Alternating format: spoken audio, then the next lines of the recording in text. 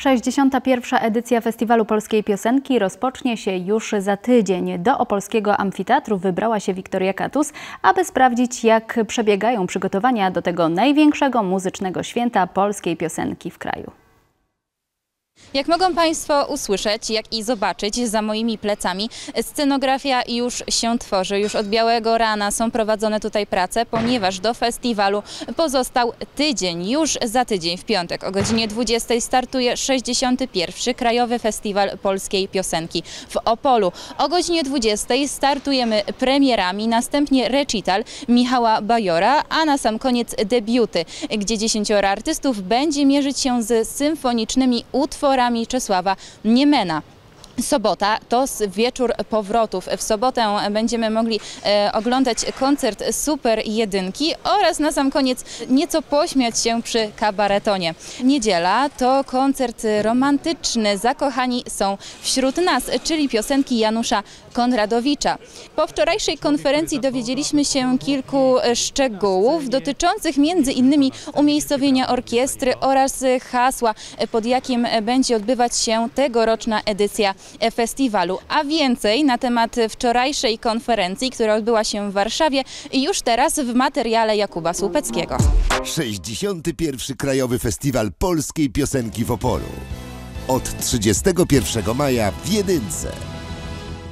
Pierwszy dzień koncertowy obfitować będzie w wydarzenia odwołujące się do dorobku polskiej piosenki. Michał Bajor na deskach opolskiego amfiteatru uczci 50-lecie swojego dorobku artystycznego. Odbędzie się także konkurs debiuty, w którym najzdolniejsi artyści młodego pokolenia zaprezentują swoje interpretacje utworów Czesława Niemena. Myślę, że dla tych młodych wykonawców, których tutaj mam obok siebie, widziałem ich na e, próbach muzycznych, już każdy ma swoją interpretację, czasami zaskakującą, a wszystko to jest podane w anturażu właśnie wspaniałych e, aranżacji Patryka. Myślę, że e, będziemy zaskoczeni tym, a myślę, że także klasa i zaangażowanie debiutantów pokaże, że warto było zaryzykować. W sobotę 1 czerwca opolską scenę przejmą artyści wykonujący polski rock. W ramach Super Jedynek wystąpią między innymi Baim, Lady Punk, Big Cyc czy Sztywny Pal Azji. Nie pamiętam kiedy pierwszy raz, chyba to był 89 rok, kiedy pierwszy raz stanąłem na opolskiej scenie i po tylu latach wracam, tam wracamy razem, jak, chyba tak jak na stare dobre śmieci, do kątów, które dobrze znamy i bardzo się z tego cieszymy. Bardzo się cieszymy, że rok wraca wreszcie do Opola i że ten koncert w takiej rodzinnej atmosferze i w, w towarzystwie przyjaciół e, będzie miał tyle pozytywnej energii, że będzie na pewno niezapomniany. E, poza tym przypomnijmy, że jest to 1 czerwca, czyli Dzień Dziecka, więc wszyscy to jak siedzimy, wszystkie kapele rockowe na pewno urządzą taki rock'n'rollowy Dzień Dziecka, na który po prostu zapraszamy. Będzie to Tsunami Rocka!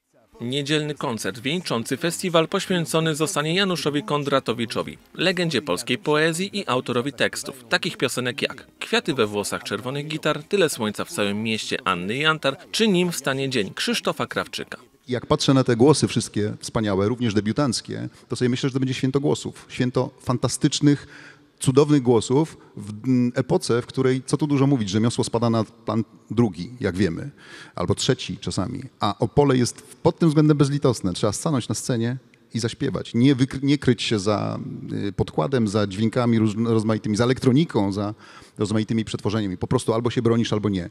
I te głosy fantastyczne, z których jestem absolutnie dumny, że będę mógł dzielić scenę, y, dokładnie zasilą, że tak powiem, y, tegoroczny festiwal. Będzie to naprawdę święto muzyki, proszę mi wierzyć. Na opolskim rynku nie zabraknie również festiwalowej kawiarenki, w której będzie można się spotkać z artystami goszczącymi na tegorocznej 61. edycji Festiwalu Polskiej Piosenki w Opolu. Jakub Supecki, Kurier Opolski.